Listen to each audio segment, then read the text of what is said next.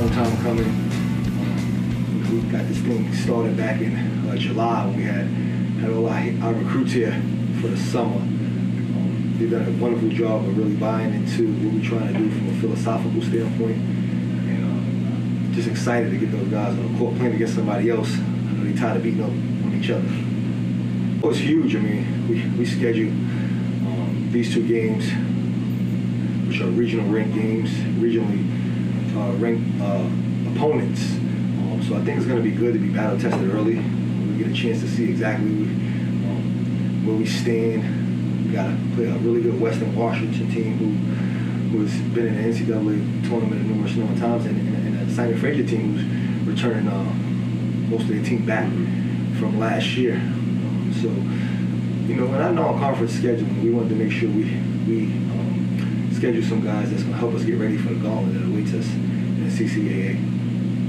You know, our message stayed the same. You know, we, we, we take all these games, we play like a one-game tournament within ourselves. There's no one game that's more important than another. We try to you know, win one game at a time and, and put, put together a string of, of wins. And hopefully at the end of the season, our, our resume is good enough to, to, order, to uh, get us an automatic bid into the NCAA tournament. Now, there's a number of different ways you can do that. One by winning the conference uh, tournament. We want to put together, you know, just a really good resume of quality wins. So I'm looking forward to the challenge. I know our guys are. We're excited about the upcoming season. Well, you know, we, we got our rotation in hand. We, we're going to play uh, anywhere between 10, 11, maybe 12 guys. So I think we got we got a pretty good hand on what each individual can do and which, what, what they can bring to the table. So I'm excited. Like I said, I'm excited about the opportunity to get, just get a, get the chance to play play somebody else. Well, you know, I always say uh, the Division two level is a guards league. You got to have really good guard play, and if you got really good guard play and you got bigs that are very um, productive, you got a chance to be special. You know, we get we get one, two, and three in scoring back, one, two, and four maybe in scoring back with with AJ uh, Sims who led us in scoring, and Bryce Mitchell was second, and Amari started here for two years. Um, you get that leadership back. Um, it's huge it's huge for, for just understanding how we do things and what we do from, from a philosophical standpoint. You know, just haven't seen it yet. You know, I, I haven't haven't had a home game yet, but I, I know what I see on on, on film and, and, some of the pictures around around Lumberjack Arena. I think we're going to have an electrifying crowd, an exciting atmosphere, just because you know the pandemic kind of robbed um, student athletes and the local community and, our supporters of an opportunity to, to, to, to, see college basketball up and close. So I think it's going to be um, unbelievable environment, and, and, and, we need that environment. We need that environment. That, you know, that's our, our six man, as, as, they would say, um, especially down the stretch, especially when we get into conference play, we playing wide or wide games. There's no easy games in this league. Um, so every advantage you have, especially from a home, a home standpoint, is going to be beneficial um, for the productivity of our program.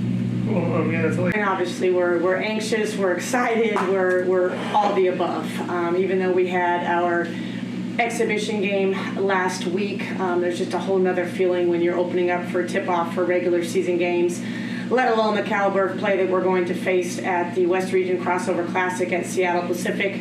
Uh, it's great competition, very high quality Division two teams, and so we're just we're just really anxious to get going. Well, again, as I keep saying, and, I, will probably say this all year, is because our team is completely new from top to bottom in our roster is as my assistant and I were talking about, it's just uncharted waters in so many different areas. Um, and so everything is new, whether it be how we travel. I mean, so many things, even non-basketball wise, between the lines. So, but in reference to the Southern Oregon game, it was great just to get them out there and to play other people, of course, and play competition and I think it was an eye opener to, you know, facing each other every single day in practice. Your execution looks a little bit different, and then when you're coming across actual opponents who are prepared, um, are you know they have their own defensive scheme in line, so it's just a whole different ballgame and how we adjust to those type of things and and really make necessary changes. And I think that's something that was very eye opening to our team. Uh, in addition to just the speed uh, just the speed and the physicality. Um, in particular, with Southern Oregon, it was their post and, and, learning how you know just to body up and I could go on and on. It's a laundry list of things that is just going to be a, a large learning curve for our team this year. I mean, there, there's some players for sure that have uh, has solidified their starting position, um, but to sit here and say that all five starters are solidified, that, that is not the case. Um, each and every week, you know, we hold we hold our players accountable for, for what the effort is, what their focus is, all the above.